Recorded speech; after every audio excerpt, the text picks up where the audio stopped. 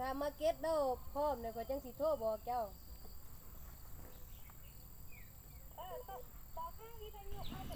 De senaste två dagarna så har vi hittat 27 bomber på den här platsen i Takiao som ligger i södra Laos ut med Ho Chi Minh-vägen som blev bombat under Vietnamkriget.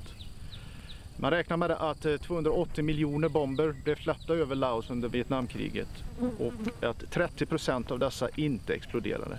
Det innebär att 80 miljoner oexploderade bomber fortfarande ligger kvar i marken i Laos.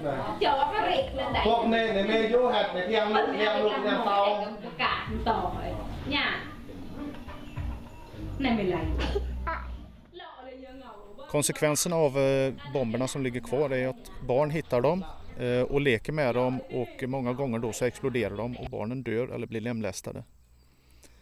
Och så, eh, så blir det ett problem för bönderna att försörja sina familjer i och med att bomberna ligger i rismarken så de kan inte skörda och eh, mata sina familjer. Norsk folkhjälp eh, röjer klaserbomber över hela världen.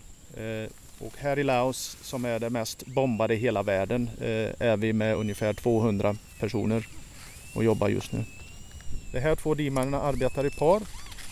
Den ena söker med metalldetektor och eh, vid signal så eh, tar den andra D-minen och gräver upp vad eh, metalldetektorn har indikerat som en, ett metallfragment eller en bomb.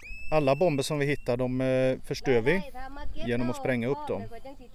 Idag ska vi förstöra fyra bomber som vi har hittat. Och det gör vi genom att lägga dem i ett hål i marken och sen placerar vi TNT över, över dem.